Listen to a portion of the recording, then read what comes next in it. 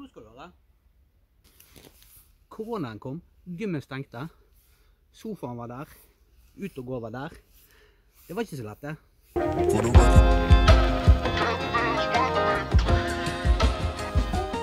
Oi. Det er lenge siden jeg har filma, så det får bli som det blir. Dette blir en slags eh, vlogg. Rå. Jeg bryr meg ikke så veldig mye om hvordan jeg snakker og hva jeg sier. Det får bli som det blir. Dere får like det eller ei. Jeg skal ut mot eh, bølgekraftverket. Og hvis dere ikke har sett eh, den videoen og hvordan det ser ut der, så kan dere se Jeg tar alltid feil. Jeg tror det blir oppi dette hjørnet her når jeg legger linken. Hvis ikke, så blir det der. Der er en link til bølgekraftverket, så kan dere se hvor jeg, eh, hvor jeg skal trakke henne. Kanskje prate litt mer når jeg kommer ut. Nå er det egentlig bare å gå litt. Ja. Så håper jeg eh, at alle har det bra, og at Tviler det er noen som har savna meg så voldsomt, da. Men eh, jeg er nå tilbake og skal prøve å, å filme litt eh, mer. Og være litt mer meg sjøl. Ikke stresse så mye som jeg gjorde forrige gang.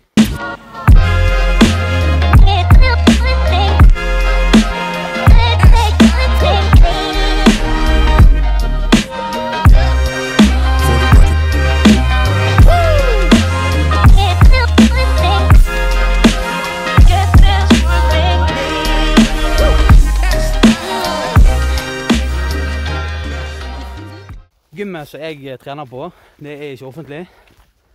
Eh, Det valgte de å stenge. Og da tenkte jeg Influensa det varer bare 14 dager. Det går fint, dette her. Tre uker fri. Har nettopp vært på en diett. Koser meg med litt eh, pizza og hamburger. Ligger litt på sofaen. Tar igjen litt serier og slapper av. Går helt fint. Ene måneden gikk. Andre måneden gikk. Tredje måned gikk. Åtte måneder gikk. Jeg var 78-79 kilo.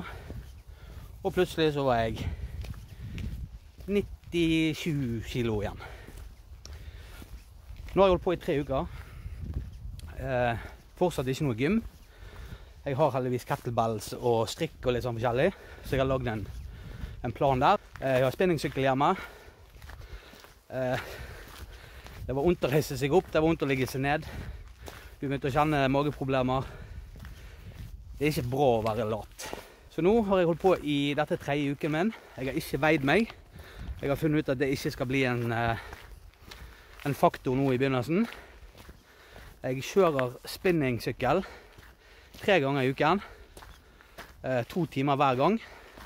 Det er 14 intervaller. Hardtråkk. Halvannet minutt, ett minutt. Fire-fem eh, bakketopper stående, tungt som FN. Og 14 lette tråkk-intervaller eh, mot slutten. Og så er det ferdig. For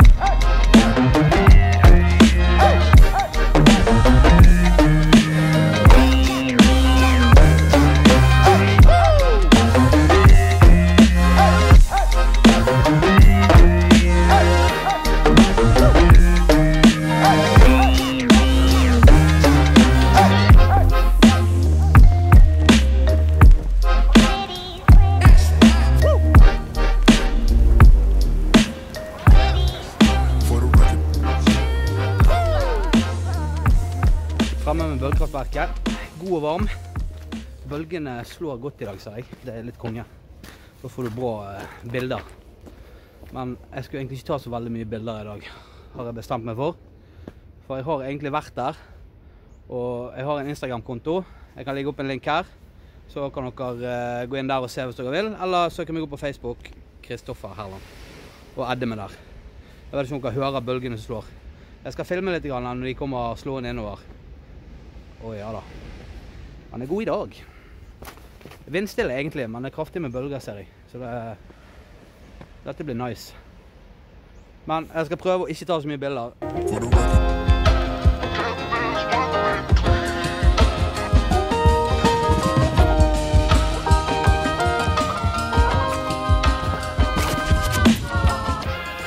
Går her på bølgekraftverket. Ser dere hvor? Det er så mye sånn buldrestein når dere skal gå ut mot uh, renen og dette her. At dere ser dere for. For det er lett for å vrikke foten eller faktisk knekke foten. Og går dere tur alene, så er ikke det bra.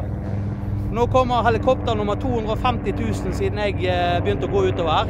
Så at helikoptrene ikke fyrer frem og tilbake i Nordsjøen pga. vekterstreiken, den tviler jeg faktisk litt på. Det virker ikke sånn, for de går i ett. Nok om det.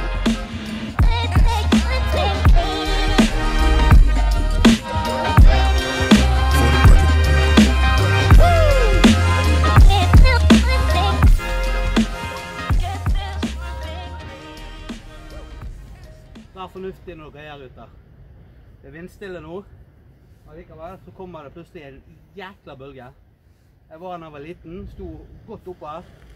Bølgen slo over meg. Jeg var klissende blaut. Så litt annerledes ut her. Respekt for det som kommer der ute. Det er folk som har omkommet. Det blir for dumt å plutselig ikke være lenger. Jeg lovte meg sjøl at jeg ikke skulle ta bilder, men det klarer ikke jeg å la være.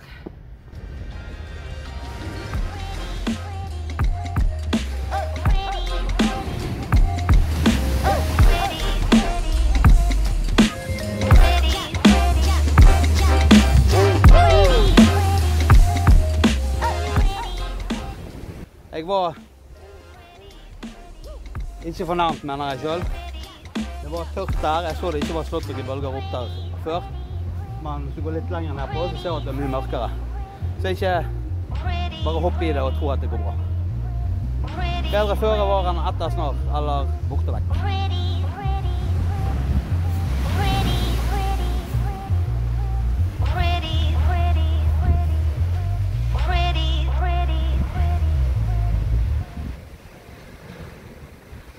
Det er jo sånn når du går vekk derifra, da hører du plutselig skikkelig med buldring.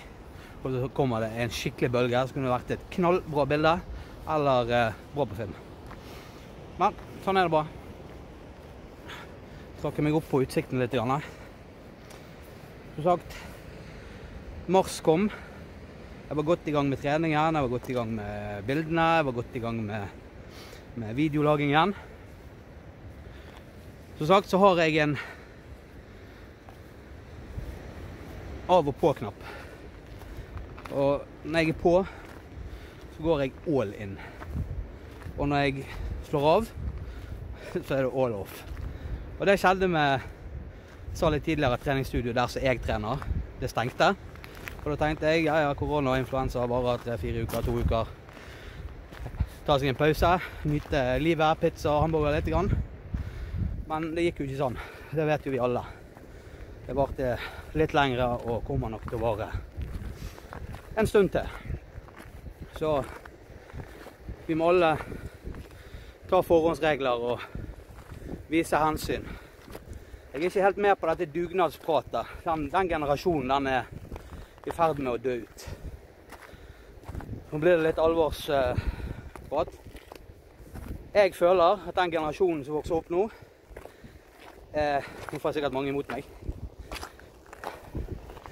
Kan ha en tendens til å bli litt for egoistisk. Og det er ikke nødvendigvis en personlighet som gjør at det er blitt sånn. Jeg tror det er samfunnet som skaper de nye generasjonene til å bli sånn. For det er karrierejag. Det er mer og mer mennesker på denne planeten her. Det er vanskeligere å komme opp og fram. Det er vanskeligere å få jobb. Du må ha god utdanning, gode papirer. Så det litt førstemann til møllen.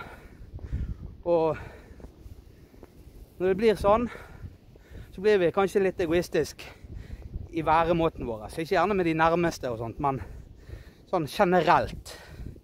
Da er det liksom det vi har lyst til å gjøre, og måten vi tenker på, og, og sånne ting som styrer. Kanskje litt. Grann. Kan godt hende jeg er helt på jordet. Det kan godt hende mange er veldig uenige med meg. Men jeg vet det er en del som er enige med meg, for jeg har diskutert dette. her. Men tilbake til dugnad. Drit i dugnad hvis dere ikke føler for det. Men tenk på at vi i lille Norge, hvis ikke vi gjør det som resten av verden gjør, og de klarer på en måte bli grønne soner eller kvitte seg med denne koronaen. Og vi fortsatt er røde. For det, nei, jeg skal gjøre som jeg vil. Jeg har ikke lyst til å gå med maske. Jeg skal gå på fest. Det er drit i det. Så blir vi røde. Og da kommer vi til å gå opp av Haugastølen resten av livet vårt. Og hvis vi prøver å gå over grensen, så er det kakk. Så gjør det for dere sjøl. Hvis dere har lyst til å reise på ferie, hvis dere har lyst til å se den store verden Nå sitter det veldig på spissen, men i forsøk på å sammenligne med noe annet enn en dugnad Gjør det for dere sjøl og deres nærmeste at dere får lov å reise på ferie, reise til andre land uten å gå i karantene i 14 dager, kaste vekk to uker av en femukersferie. Jeg vrir det litt den veien. Så uh, var det nok om det. Jeg føler iallfall at eh, vi sitter på hver vår haug og har eh, forskjellige meninger. Jeg kan egentlig lage en egen video om akkurat dette, så jeg slutter å snakke om det. For jeg har mye jeg skulle sagt om det. Ikke nødvendigvis riktig, men min reflekterte mening. Video, trening, det er det jeg skal snakke om. Nå skal jeg finne en plass og sitte med det.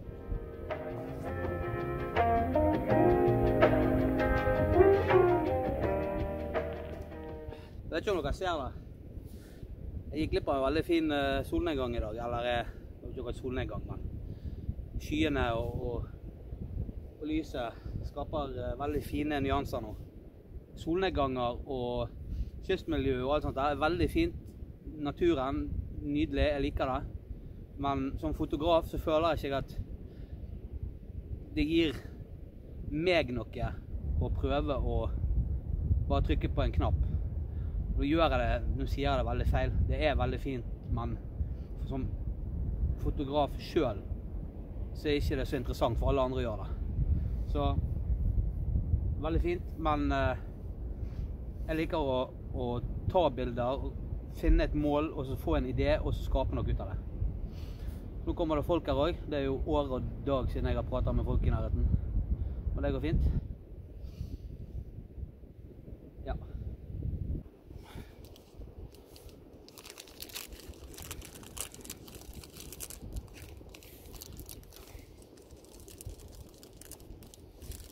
Må ha litt mat òg. Kjente blodsukkeret sank. Ny fra Barbell. Chocolate dough. Vet ikke om den er god.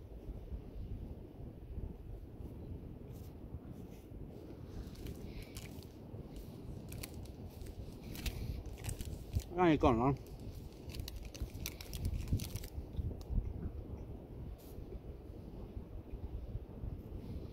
Den var god.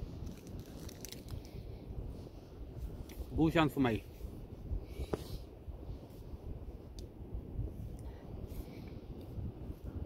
Prøv igjen nå, folkene godt. Jeg klarte ikke å snakke når de var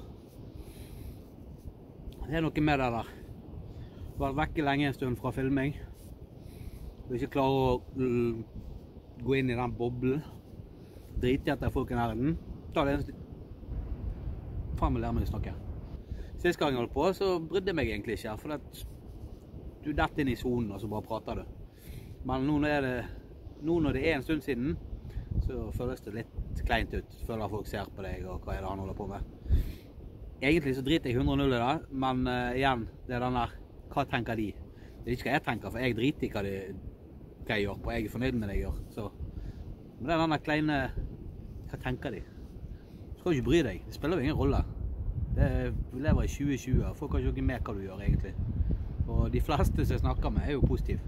De som vi traff på broen, og de var bare kjempepositive til hele greia, hva jeg drev og filma for. og Kanskje de går inn og sjekker kanalen min, så hvis, du, eh, eller, hvis dere er inne og ser på meg nå, takk for at dere trykte på kanalen min og sjekket ut videoene mine.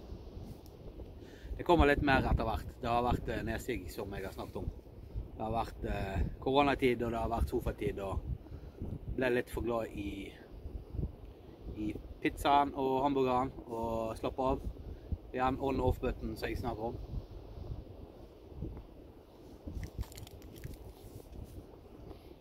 filming. Jeg skal prøve å ta det opp igjen nå. Det har vært veldig mye eh, siden mars. Eh, Jeg har hatt veldig mye å gjøre utenom eh, det med å filme. Og koronagreiene det stoppet jo opp. Vi skulle begrense aktivitet. Jeg er en av de som faktisk respekterer det og egentlig ikke vil gå så veldig mye utenom der som jeg har vært. Jeg hadde en tre ukers ferie innbarka i, eh, i den perioden her. Og de tre ukene tilbrakte jeg på sofaen hjemme istedenfor å gå ut og, og menge meg og, og drive og filme og sånne ting. Og det hjalp gjerne på at jeg datt helt ut av filming og sånne ting. Men eh, som for de fleste 2020 sucks ass. Da var det sagt. Ja. Eh, men nå skal jeg prøve å hive meg på igjen. Eh, driver med foto. Hoft, eh, bilder har jeg hevet meg på igjen. Der òg merker jeg det tar litt tid å komme inn igjen i denne kreative tankegangen. Jeg fikk meg noen gode bilder en dag igjen. Tvilte veldig når jeg begynte, men det er bare å hive seg i det og begynne på den igjen. Og så merker jeg sjøl at kreativiteten kommer. Og jeg snakket litt om det i sted, det med å, å ta bilder av solnedganger og, og natur og sånt. Det er veldig fint, men for meg så blir det veldig repeterende, veldig vanlig. Og ikke noe egentlig for meg. Veldig fint, det er ikke noe dissing av de som holder på med det og er fornøyd med å kun ta sånne bilder. Men jeg liker å få en idé, ta et bilde, og så begynne uh, den kreative delen når jeg har fått ideen på hvor jeg skal ta bildene. Jeg vet som oftest ikke hva jeg skal ta bilde ut av, men så etter hvert, når jeg er på plassen, så ser jeg ting. Jeg ser hva det kan bli, øh, for denne kreative delen den jobber underveis. Og når jeg kommer hjem, så sitter jeg meg ned, og så begynner jeg å redigere, og gjerne bruke flere bilder sammen. Eh, De bildene som jeg har lagd nå eh, dagen, en eh, de fleste har jeg ikke lagt bilder oppå hverandre. Det er vel to bilder, og det er den linsen for de som har vært og sett på de på Facebooken min eller på Instagram. Der har jeg lagt bildet inn eh, faktisk bare på det ene, på, i, den bak, eh, i det smauet. Men eh, de fleste bildene er refleksjonsbilder, og jeg skaper en komposisjon i bildet med refleksjon og bruk av linse og meg sjøl og omgivelsene. Jadi, jadi. Eh, alle har hver sin stil. Videoene Jeg har begynt å trene. Som sagt, jeg snakket på veien ut her. Eh, om jeg legger det ut nå, eller om jeg har allerede lagt det ut, det vet jeg ikke. Det får vi se når vi lager videoen. Men eh, det blir ikke treningsstudio en god stund framover, regner jeg med. Det blir eh, de tre sykkel, eh, sykkelturene på spinningsykkelen min, og så blir det kettlebell. Jeg har eh, filmet én runde med kettlebell og én runde med sykkel. Jeg skal lage flere eh, videoer om bare f.eks. utetrening kettlebell, eh, sånn som andre kan eh, gjøre hvis de vil. 40 pluss, begynne rolig hvis du aldri har trent før, eller hvis du har trent for å bare vil holde ved like eh, fram til du får muligheten til å starte på treningsstudio igjen.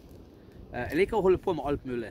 Det er video og trening og forskjellige typer videoer, om det er turvideoer, om det er treningsvideoer. Jeg har veldig lyst til å begynne med kokkeleringsvideoer, matvideoer. Jeg liker å lage mat òg, men jeg eh, har en leilighet. Eh, kjøkkenet er ikke helt up to par, syns jeg, så jeg er faktisk litt småflau å vise det. Så avventer litt med, å, med matlaging. Eh, selv om jeg har mye, mye sunn mat jeg kan lage. Jeg, Instagrammen min igjen. Blar godt nedover når jeg var på deffen min. Da ser dere maten jeg lagde. Ja. Det er dette jeg har lyst til å holde på med. Jeg har en fast jobb, men jeg merker at dette her brenner jeg for. Eh, men jeg bor på en liten plass. Det er veldig lite mottagelse for det, syns jeg. Folk er opptatt med sitt, jeg er opptatt med mitt. Det er helt forståelig. Det gjelder alle som bor på små plasser. Det er ikke lett å bryte igjennom med ting. Eh, men eh, jeg maler på i mitt tempo, og så håper jeg at Ja. Ønsket mitt er å nå ut til folk, hjelpe folk, ikke bli berømt. Det å, å hjelpe folk. De som kjenner meg, de vet det. de som ikke kjenner meg, de eh, kan bli kjent med meg før de eh, lager sin egen mening. Men eh, det er det jeg har lyst til. Jeg håper at det hjelper folk det som jeg gjør med videoene, men samtidig så hjelper det meg veldig. Jeg er veldig mye alene. Jeg har jobben min, og den gjør at du blir veldig mye alene. Du blir veldig asosial, eller usosial. Eh, Skiftarbeid, trøtt, sliten. De siste årene har vært et helvete. Det er ikke mye jeg banner på denne kanalen her, men eh, når det kommer til eh, det vi baler med for tiden med jobb, så er det et helvete. Og det gjelder vel alle kollegaene mine òg. Så sånn er det. Ja, det hjelper meg veldig. Det har, det har med å ha noe å gjøre på, skape noe og utvikle seg. Og gjerne treffe på folk som sier at uh, de så videoen min, uh, de lærte noe nytt. Uh, kan ikke du lage noe om det? Jadi, jadi, jadi. Det gir meg eh, inspirasjon til å fortsette å, å holde på. Eh, ja. Det var veldig mye babling her.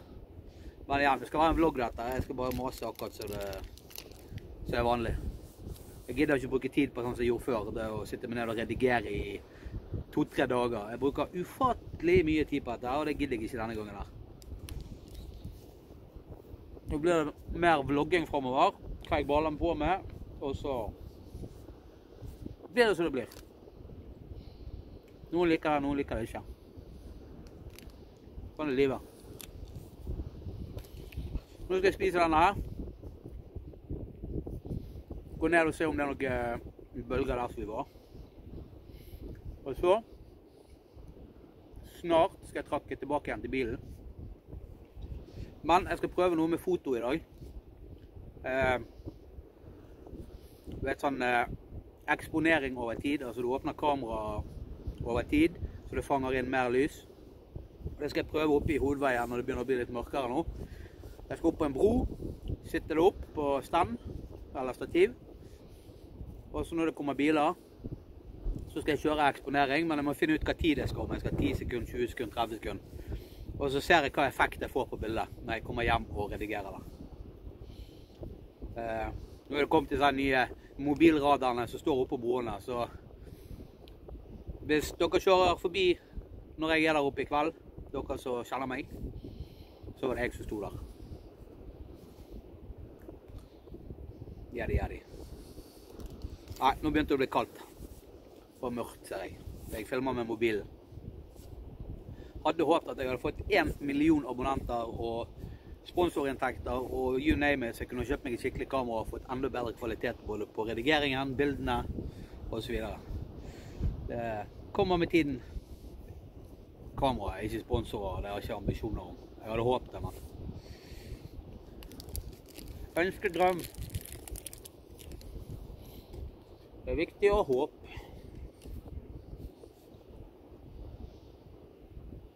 Det var fint i dag. Det begynner å bli litt kjølig. Mm. Ja. Nei, plutselig